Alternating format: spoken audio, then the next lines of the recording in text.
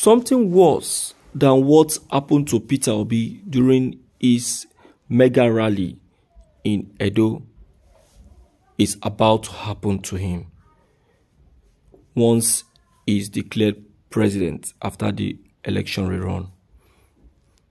Aid voice out. What is it that is going to happen? Make una tell us so. Make una tell us so that we will know um, when, where to go and the next line of action. Well, um, Peter Obi, uh, no be today, the young man has been facing a lot of threats, especially um, uh, when he dragged Tinubu to court earlier. Earlier, you know. Now it's it's even a little bit um, the threat is a little bit down now compared to to when he just dragged him to court. My people, we could not shout, we could not we could not just loud them because that is what it is. You understand? That is what it is. Uh, let's quickly check the content and uh, know what really is happening. This is today's news. The Labour Party LP presidential candidate in the 2023 election, Peter Obi, on Monday joined hundreds of people saying that yes, the time has come for him to take over his mandate. Also in attendance is the former Nigerian Bar Association president Olumide Akpata, who recently joined the party as well. Nigerian News reported that Peter Obi arrived the ground in jubilation with his vice, Obidati.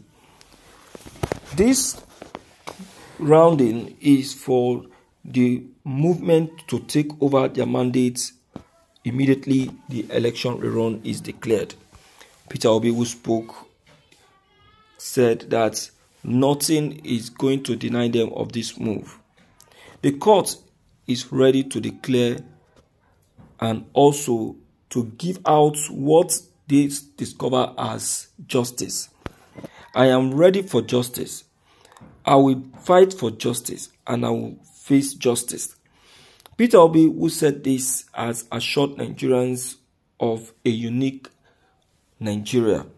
He said, If I eventually succeed, I will make the country unique.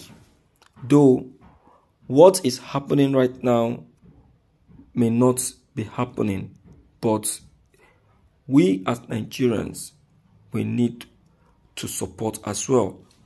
He has pleaded that the election run, which will be taking place soon, should be given a better support.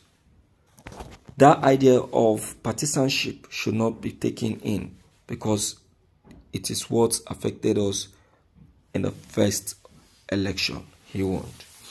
Well, um, Peter Obi have just spoken his own mind.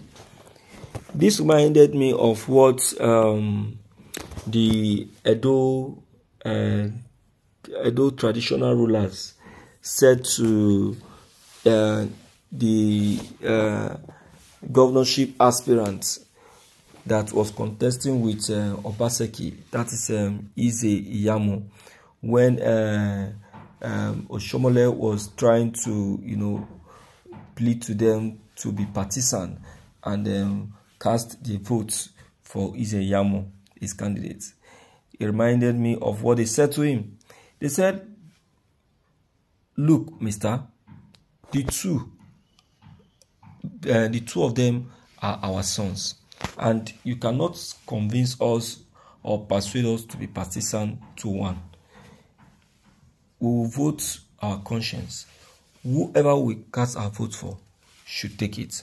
So that's all. So that's the same thing is what I think Peter Obi is trying to say. He's not saying that you should cast all your votes for him, but he's saying that you should vote wisely. If you feel that he is um, the right person, he said you can you are good to vote. if you if you if you feel he's not the right person you're good to vote for Tinubu or whatever. But he said that this run election is an opportunity for us to be free from our present predicament which is true. I'm telling you you take it or leave it. That is reality all right um, we have come to the end of today's broadcast until we meet again in the evening. Please um please my people don't forget to leave your comments below the comment section. Click on the subscription button as well as the bell buttons to get updated each time we upload any new videos. Thank you